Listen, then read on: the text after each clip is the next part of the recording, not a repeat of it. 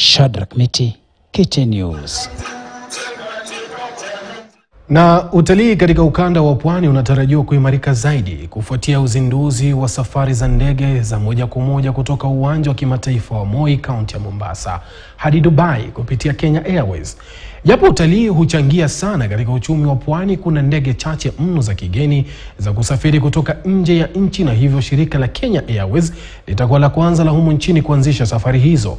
Ripota wetu wa ukanda wa pwani Tobias Chanji alishuhudia safari hiyo ya kwanza na kuandaa taarifa ifuatayo.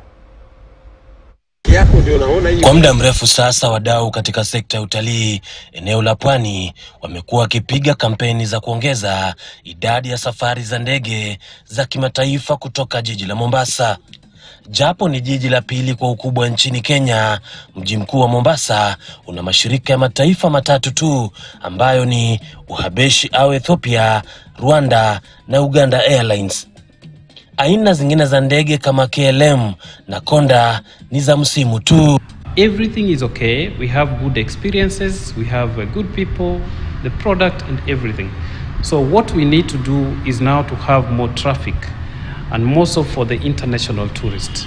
The problem that we're having at the coast is the issue of connectivity. So many tourists, so many people may be traveling to Kenya, but they're not coming to the coast because most direct flights are doing uh, Nairobi. So we're looking forward uh, to having, uh, pushing for this open sky further. Kenya imekuwa ikipata watalii takriban milioni mbili kila mwaka, na kwa mjibu wa bodi ya utalii nchini KTB wanapania kupata watalii milioni tatu mwishoni mwa mwaka 2023, lakini kulingana na wadau, watalii milioni 2.5 huenda wakapatikana kwa urahisi. Kwa mjibu wa shirika la kitaifa la ndege, hii ni hatua kubwa ambayo imepigwa.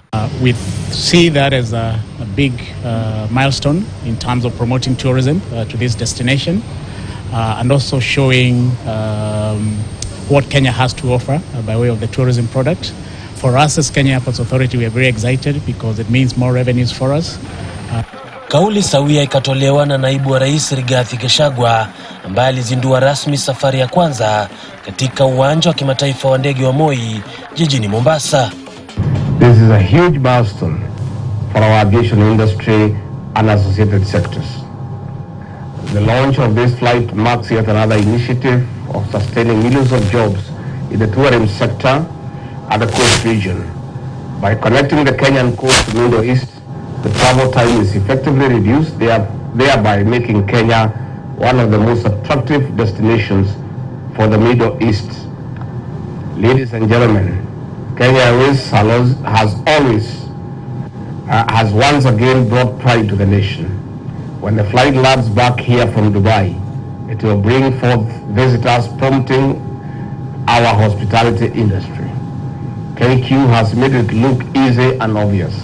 Hotuba zilipokuwa zikielekea kilele mwendo wa saa tano usiku hivi, ndege ya KQ ilikuwa ikinguruma tayari kwa safari chini ya unahodha wa Kavit Dev. I'm sure there's a lot of uh, residents and citizens of Mombasa who are pleased to have a direct uh, routing to Dubai now. It definitely saves them a lot of time uh, having to transit via Nairobi. Na baada ya kuwa angani kwa saa tano, ndege hii ilitua na abiria wake salama salmin katika uwanja wa kimataifa wa Dubai. Uwanja huu ni miongoni mwa viwanja vitano vikuu duniani. take this opportunity to welcome our travelers from Dubai uh, to Kenya. Uh, and I believe this is uh, one way that is going to strengthen our ties with the UAE uh, market. Tobias Chanji, KTN News, kaunti ya Mombasa.